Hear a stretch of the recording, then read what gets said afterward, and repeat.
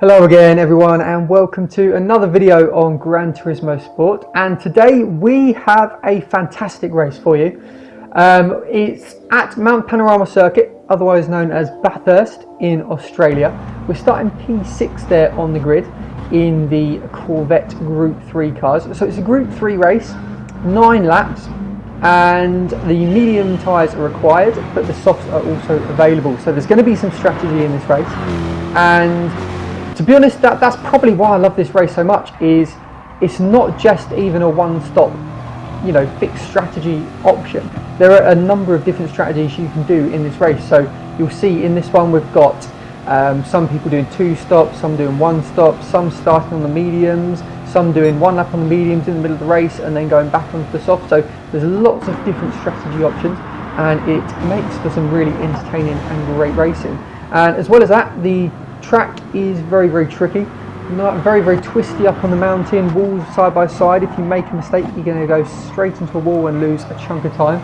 We've got a number of decent drivers in the lobby as well. You can see there, we've got Vitali, Mario Sonic, um, Monaco Leonard, Basic Ollie, of course, and Mario. So, yeah, some great drivers in the in the lobby as well, and there's also some great close racing. So, let's get on with the action then. So we're halfway around lap one. We're just coming up to the most difficult part of the track. You see Vitali goes very, very wide. He's going to have some dirty tyres going through this section, which is not going to be easy for him. So down to second gear here, keep it right over to the right and then switch back to the left. And that's the most difficult part of the track done. Um, but my least favourite corner coming up then, it's a very awkward downhill left-hand hairpin. And you kind of need to get on the power quite early because the straight is very, very long. So if you're not able to get on the power early, you can see there, I probably haven't been as good as I, could have been then, um, but fortunately we're still in the slipstream. Um, yeah, you can lose a lot of time there. Um, it's a very, very long straight, and the penalty line is also, there's two penalty lines on this track. One is on this straight, and one is just after turn one. If you get penalty on this straight, it can cost you a lot of time. As we can see up ahead then, there's a bit of action, and Mario Sonic ends up with a penalty. So we should be able to get past him. Um, at the start of lap two when he serves that penalty. You can see here coming across the line side by side up ahead. Very, very close, very, very tight. Unfortunately, we've got a bit of a gap to the car behind us as well, so we're not going to come under too much pressure from behind. You see AKM Mario then get a bit out wide on the rumble strip, and we're just going to stick very, very close. There we go, Mario Sonic serving his penalty, so we've got ahead of another car up to fifth place then. You can see four cars all side by side, very close. We're just going to stay out of it going into turn two here. We don't want to ruin our race before it's even begun. And it's always nice to be at the back of a train like this because you can kind of just sit on the back of them, not worry too much about the car behind if you've got a bit big enough of a gap, and just wait for some mistakes to occur up ahead and take advantage when you can. So heading up the mountain then, and we want to take this section as flat as possible. We're going to have a slight lift at this left-hander just to get the nose turned in onto full throttle, avoiding the wall. Little lift as we go over the crest just to balance the car, and then full throttle again as we see AKM Mario just heading into the wall there, but manages to get away with it. Again, you want to go in here a lot slower than you think you need to, and again on the power as early as we can, short shifting up to third gear there. And you'll notice in the Corvette, um, also short shifting for a lot of the lap. Um, because of the BOP, this car, you get the best acceleration if you short shift about two thirds of the way um, of the rev counter. That, that's just the way to, to drive it. It's a bit weird, but um, once you get used to it, it's definitely the fastest way. So, in the slipstream then, we see Vitali going for the inside, making the move on Mario. We're going to stick to the outside, see if we can get a good exit. We do get a good exit, but we're just going to have to pull out a little bit there because there's nowhere for us to go. Um, the track sort of narrows um, narrows quite a lot there and oh, as we see from behind Mario Sonic going a bit late on the brakes but fortunately there's no contact there and yeah this, this track is very very intense track to race on it's, it's similar to Nürburgring um, the Nordschleife when, when you're driving it because you just have to be focused 100% of the time especially on the mountain with the walls the tight twisty section You just be got to be constantly balancing the throttle. It's very similar to some of the twisty sections of the Nürburgring where um, if you just take a bit too much speed into a corner, you end up in all kinds of trouble. And you see Vitali goes for the move, Mario has to stick to the outside and we get the move done as well. So two places gained then, up to fourth place in the race. And who have we got ahead? So I think Leonard's, Leonard started to uh, get a bit of a lead up ahead. Then it's basically, then we've got Vitali. So um, Ollie's also got a bit of a gap to Vitali. And you can see the race is starting to open out a little bit now. So we're going to have to increase the pace a little bit if we can. You can see we have Mario behind us in the Nissan GTR, which is very quick on this part of the circuit, and he's very, very close to us now, uh, just a tenth of a second back as we go down the very tricky, twisty section. It's important when you've got a car close behind that you don't bottle it through here. Very easy to take too much speed in when you're feeling the pressure from the car behind. But we get round there okay, we get a decent exit onto the main straight.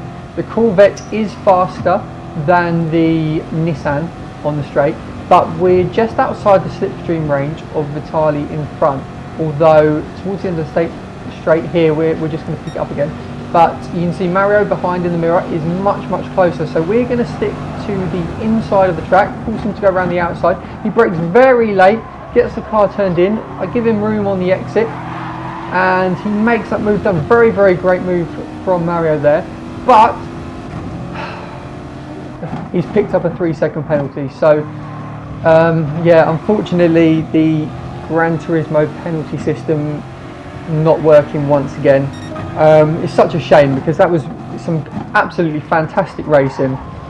Really, really great ballsy move around the outside from Mario, and yeah, he he did nothing to to get a to deserve a three second penalty there. So um, yeah, although he it means I get that position back, very very disappointed that he's out of the race now. Really um, when when he didn't deserve it. So having to defend the inside here then um, due to Mario Sonic being very very close. And I don't think he's going to try and move going up the hill. Very very dangerous place to to attempt any moves, but he is very very close. So don't want to hit the wall or anything going through the mountain section because that will scrub our speed off and he'll just be able to breeze past. So again, try to deal with the pressure of a car close behind as well as tight walls, the twisty section. And you can see up ahead, Vitali is caught right up to basic Ollie now and putting, putting him under a lot of pressure. So if they start battling, it should give us a chance to move up onto the back of them and get involved as well as we get a very good drive through the uh, the start of the downhill section then and again trying to keep it nice and slow turning it in. You kind of have to turn in a little bit earlier than you think you need to there because of the camber in the road and just use that camber to help you around the corner. And onto the straight then. And Mario Sonic behind us does have the slipstream but he's six and a half tenths back so we shouldn't be under too much pressure going into the chicane. As up ahead Vitali and Ollie are getting side by side touching into each other and Ollie has fallen behind Vitali but Vitali goes wide and again once again they're side by side and Ollie makes the move gets the move done again. And very late they both dive into the pit lane. So lap 4 is a little bit early to go into the pits um, for a one stop so it looks like they will be on a two stop strategy. Um, both starting on the soft tyres of course. And we're going to carry on start lap 5 and look to pit on the end of this lap. So you can see Leonard has also pitted and put the soft tyres on again um, and he has come out the pits two and a half seconds ahead of us. So um, we're obviously on the old soft so he's going to pull away quite a lot on this lap and then we're going to pit at the end of the lap for the medium tyres and just going to go on the one stop strategy. Um, Leonard will obviously have to do another stop later in the race. Will probably be on lap 8, end of lap 8, and just do one lap on the medium tyres.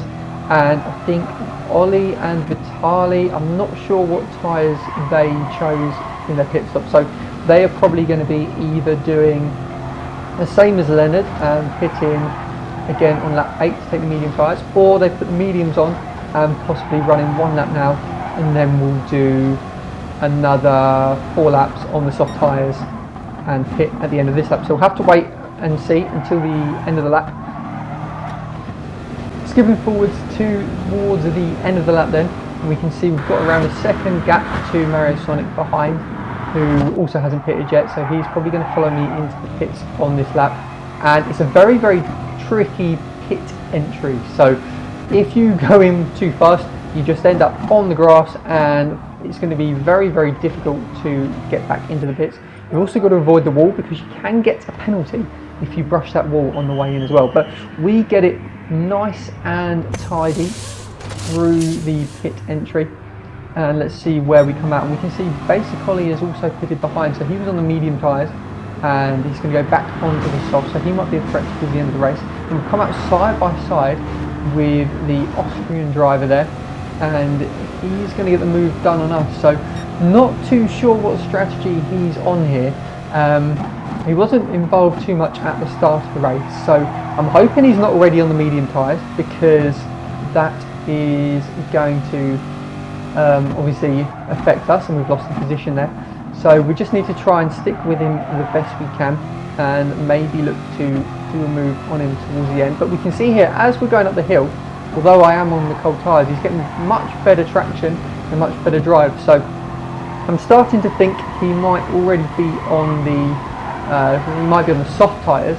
So hopefully he hasn't already used the mediums and pitted for the soft tyres because then we're definitely going to be in trouble. We'll, we'll, not be able to stick with him, not be able to catch him up. But hopefully what he's done is started on the softs, gone back onto the softs, and he'll have to pit again. So um, the pit lane loss here is around about four seconds, I think. It's a very, very short pit lane loss, um, which is a bit odd. But if we can stay within that four second range and he does have a pit stop to do, then we should be able to jump him um, during that pit stop.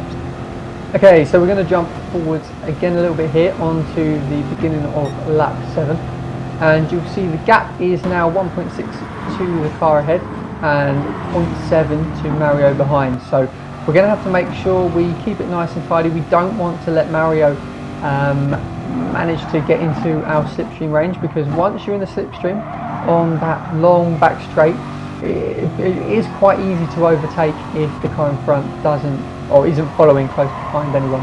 But as we come up the hill then, uh, look towards the Delta on the left and we can see we've gained a chunk of time over Mario so um, I imagine he either had a, a, bit of oversteer coming out of the, uh, the sharp turn before the, the start of the hill or he maybe clipped the wall there.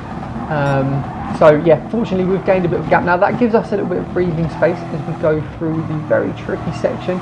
But again, spot on that time. Very, very satisfying through there when you get it right.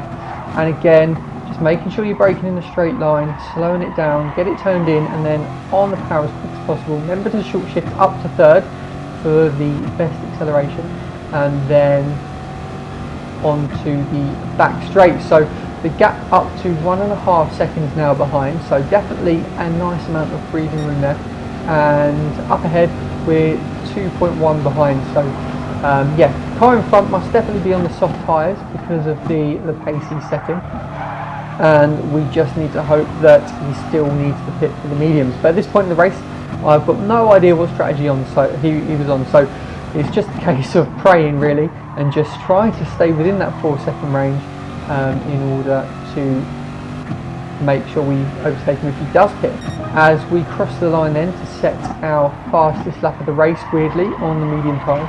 So that just goes to show how much time we lost at the start of the race with the, uh, the battles and, and, overtaking and following in the uh, in the bunch there. Really the, the fastest laps we're doing. Um, if we're starting on the softs, should be sort of low 2 minute 01. So um, yeah, I think our best lap in the first stint was a 2.02.3, so probably about a second slower than, than what we would be doing in clear air.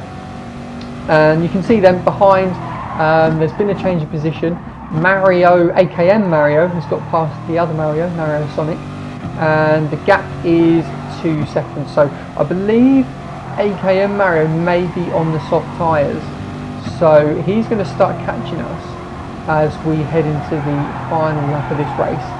But um, yeah, two seconds should be more than enough time to be able to keep the lead. So shouldn't be too much of an issue. We just need to make sure we don't make any mistakes, especially down here through the tricky part of the track. Just keeping it slower than we feel we need to, so we don't make any mistakes. And rounded down here a hairpin onto the back straight and we've survived another lap, just one more to go. Jump into the end of the lap then and we can see E Monaco Leonard in first place as pitted but so does P2, the Austrian in P2. So we have, we, we've got it right then and he did have to make another stop and go onto those medium tyres so let's see as we around turn one where he comes out we should have a nice comfortable gap over him as the what's the gap to leader 6.7 seconds then and if we look in our rear mirror we can see we've got quite a big distance and it's a second and a half so he's also going to have cold tyres for the start of this lap so we should be able to get that up to around about two seconds if we manage to get the, the first part of the mountain trail right. As you can see there, a nice comfortable gap. And once again, let's just make no mistakes if we can help it and bring the car over the line for a, a, decent P2 here. Very, very pleased with, uh, with this result. It's been a great race actually, really, really enjoyable, especially coming from sixth on the grid. Some great close racing, close action, and you know, this race has got it all really. You can have close battles. You've got a difficult track to master that's very satisfying when you get it right. So it's, you know, you're even, you're always on the limit even if you're in clear air.